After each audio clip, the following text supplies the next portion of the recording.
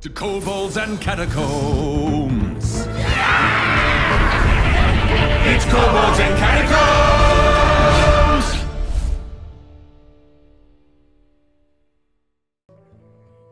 Und damit hallo und herzlich willkommen zu einem neuen Hearthstone-Video. Mein Name ist Rotmac und wir haben gerade den Hexenwald vor der Tür. In zwei Tagen wird das neue Add-on der Hexenwald released. Und ich wollte, bevor wir hier in den Hexenwald starten, noch die ganzen Kartenpackungen mit euch öffnen, die ich hier noch so auf der Seite habe. Das heißt, wir haben 14 ähm, Kartenpackungen der Ka Katakomben und Kobolde, der Kobolde und Katakomben. Hier eine aus äh, Eiskronen-Zitadelle, dann zwei aus dem Ungoro Add-on und noch vier Standardpackungen. Ja, dann gibt's ähm, nächste Woche dann, also Mitte April, nächste Woche werden wir diesen 74 Kartenpackungen zusammen öffnen. Es wird auch ein paar mehr geben. Ich habe noch ein bisschen Gold übrig. Also wir werden ab nächster Woche einige Kartenpackungen zusammen öffnen. Jetzt aber für dieses Video wollen wir einfach nur diese Überbleibsel hier der alten Erweiterungen noch öffnen zusammen. Und ich würde sagen, wir starten gleich mal und wir beginnen mit den Standardpackungen. Ja, von hinten nach vorne. Dann wird es auch ein bisschen spannender, was die legendären Karten und so weiter angeht. Und wir starten gleich mal mit der ersten Packung im Standardmodus. Und da haben wir einmal selten drin. Also da gibt es jede Menge Staub, ganz sicher. Da haben wir SA7-Agent. Okay, gut. Ja, ein bisschen Staub ist natürlich auch nicht schlecht vor der neuen Erweiterung. Dann können wir uns da ziemlich schnell mal auch Karten craften, die wir noch nicht in den Packungen dann kriegen. Und da haben wir auch eine seltene mit drin, Seele entziehen. Okay, auch da wieder natürlich alles nur Staub. So, ich wäre ganz zufrieden, wenn wir noch so, ähm, was sind das jetzt, 19 oder 20 Kartenpackungen, wenn wir da vielleicht eine legendäre rausziehen würden. Wäre ich ganz zufrieden. Aber mal schauen, was Blizzard mit uns vorhat. Da ist schon mal die erste epische Karte. Das ist schon mal gut. Einmal selten noch dazu. Heißt noch mehr Staub. Sehr schön. Geheimnisbewahrerin. Und hier haben wir Omen der Verdammnis. Auch das natürlich nur Staub. So, wir gehen weiter zu den beiden Ungoro-Packungen. Mal schauen, was uns da erwartet. Einmal selten, zweimal selten, einmal episch. Oh, gar nicht mal so eine schlechte Packung, ne? Gar nicht mal so schlecht. Hat viel mit Eiern zu tun. Wir brauchen Eier-Terrorhorn, Junges. Dann hier umzingelte Wächterin und zum Schluss gibt es die epische Karte und zwar gefräßiger Schlamm. Ja, gut, auch das natürlich alles wieder Staub. Aber wie gesagt, auch da bin ich äh, ganz empfänglich dafür, sag ich mal. So, einmal selten. Und mehr gibt's dann auch nicht hier. Oh, eine goldene, auch nicht schlecht. Der mickriger Ravasaurus, ja. Ja, für eine goldene Karte hat er nicht sehr viele äh, Bewegungen mit drin. Also die Animationen halten sich in Grenzen, kann man sagen. Und die seltene ist Irdene Schuppen. So, dann kommen wir zu der einen Eiskronen-Kartenpackung. Geöffnet wirst du. Und wir haben weniger Glück in der Eiskronen-Zitadelle. Hier gibt es nur eine seltene. Und das ist die Leichenspinne. Okay, so. Jetzt kommen wir zum momentan aktuellen Add-on. Und zwar Kobolde und Katakomben. Da haben wir 14 Packungen. Da wollen wir mal schauen, ob wir da was Schlaues rausziehen. Bisher zwei epische Karten, aber noch keine legendäre. Bleibt momentan auch so. Zweimal die Drachentöterin, okay. Schreischwer. Schreischwammerl. So, der Gute. Kennen wir natürlich alle. Da könnt, könnt ihr alles nachschauen bei den alten Kartenpackung-Öffnungsvideos. Also da haben wir alle schon mal mit dabei gehabt. Deshalb gehen wir auch nicht näher auf die Karten ein. Hier heilender Regen stellt zwölf Leben wieder her, das zufällig auf alle befreundete Charakter verteilt wird. Ja, Schamanenkarte für drei. Auch die ist eigentlich bekannt und die seltene ist gieriger Waldgeist. So, zwölf Kartenpackungen noch. Zwölf Packungen noch. Und eine epische, die nächste epische also. Und ja, da ist eine legendäre. Da ist eine legendäre, ich glaub's gar nicht. Okay, wir schauen mal.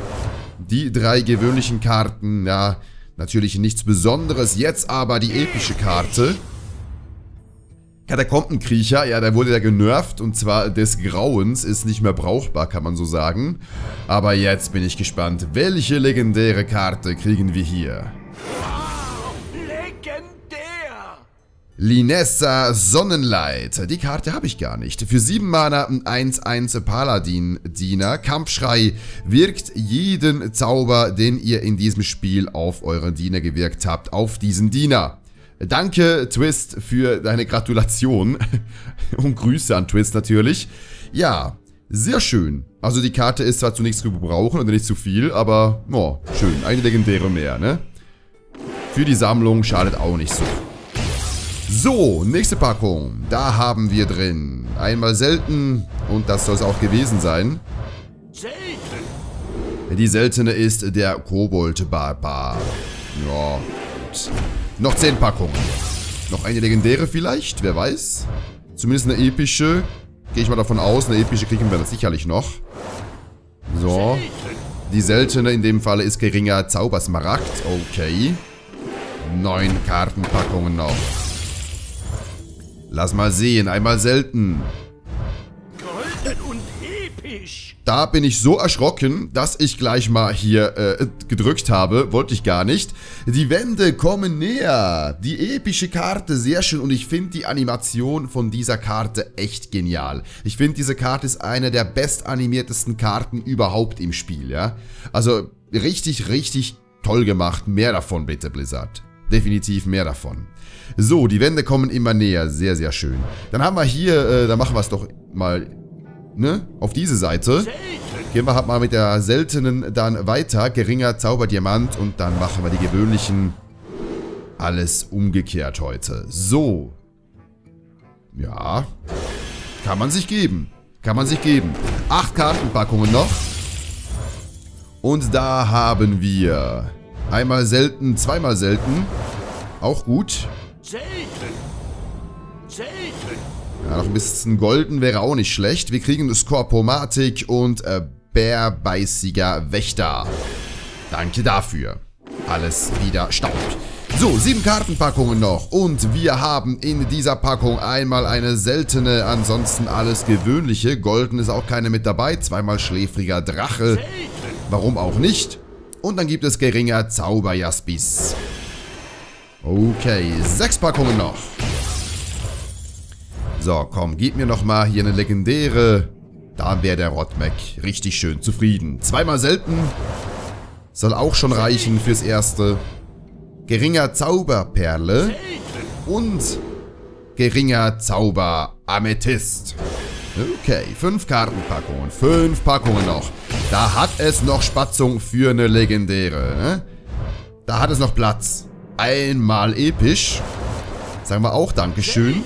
Die seltene ist in diesem Falle die Leylinienmanipulator. Der Leylinienmanipulator natürlich ist ein R. Hm, das sieht man da ganz klar am Schwarz. Ja, egal. Ähm, die epische Karte. Stöbernder Kobold. Kampfschrei, lasst einen eurer zerstörten Waffen auf eure Hand zurückkehren. Ein 1-3er für 3 für alle Klassen. Ja. Nur ist natürlich äh, ziemlich was für Schurken zum Beispiel, ne? Kann gebraucht werden. Krieger natürlich auch. So, einmal selten. Und das soll es auch gewesen sein. Der Drache ist wieder mit von der Partie. Hungriger Ettin. Okay, und dann gibt es noch die letzten drei Kartenpackungen für heute. Daumen drücken, Freunde. Daumen drücken. Einmal selten. Ansonsten nichts Neues hier. Geringer Zauber Mithril. Ja, nichts, nichts wirklich äh, Weltbewegendes. Zwei Kartenpackungen. Jetzt aber, komm, nochmal legendäre. Nochmal eine legendäre. Schimmere golden. Ah, will nicht. Will nicht. Dann haben wir hier als seltene Karte Schrei-Schwarmerl. Mal wieder, ne? Mal wieder, muss man sagen. Letzte Kartenpackung, Freunde. Jetzt aber. Letzte Kartenpackung. Wir beginnen mal mit einer seltenen. Dann haben wir eine gewöhnliche, gewöhnliche, nochmal eine seltene und eine epische. Boah, kann ich mitleben. Kann ich mitleben für die letzte Packung. Dann noch golden und gewöhnlich, sehr schön. Der Staubwindkerkermeister, sehr nice in golden. Spiele ich auch in meinem Paladin-Deck. Dann geringer Zauberdiamant, ja. Golden und selten. Golden und selten, was ist denn das für eine Packung bitte? Ruf des Zwielichts, sehr schön, sehr schön. Und zum Ende gibt es noch die letzte ähm, epische Karte. Episch. Nicht in golden, aber entrinnen. Das Geheimnis des Schurken. Sehr schön. So, kann ich mitleben. Wir schauen uns mal an, wie viel Staub wir daraus äh, zusammengesammelt haben. Mal die Sammlung anschauen. Was haben wir denn hier an Staub bekommen? 995 Staub. Damit kann ich lieben. Zweimal eine epische Staub. Haben ein paar epische gekriegt, die wir noch nicht äh, zweimal gehabt hatten. Ne? Sehr schön. Wir entzaubern das Zeug. Und wir haben jetzt 5350 Staub. Das heißt, wir können uns tatsächlich auch ein paar Legendäre craften. Ja? Im neuen Add-on. Da freue ich mich drauf. So, ich danke fürs Zuschauen. Wenn es euch gefallen hat, würde ich mich sehr über einen Daumen nach oben freuen. Ansonsten natürlich gerne auch einen Kommentar da lassen. Und äh, ja, mal sagen, wie seid ihr gehypt für den Hexenwald? Ich bin total gehypt. Ich finde die Karten extrem cool. Ich werde noch schauen, dass ich mit Taichtiti morgen, wenn möglich, nochmal ähm, Karten-Previews machen kann. Damit ihr auch ähm, noch mehr Karten zu Gesicht bekommt, bevor das Addon wirklich rauskommt. Wir sind da ein bisschen knapp dran. Tut mir leid, von der Arbeit her und so ging das halt nicht anders. Wir werden wahrscheinlich nicht alle Karten durchbringen. Was es aber geben wird, ganz bestimmt, ist zu Beginn auch wieder die Kartenpackungsöffnungsvideos. Und da werden wir natürlich auch auch wieder auf die Karten eingehen, die wir noch nicht in den Previews genauer angeschaut haben. Danke fürs Zuschauen, abonnieren natürlich, damit ihr kein Video verpasst und dann hoffe ich, wir sehen uns beim nächsten Mal wieder. Bis dahin, euer Rotmac. Ciao.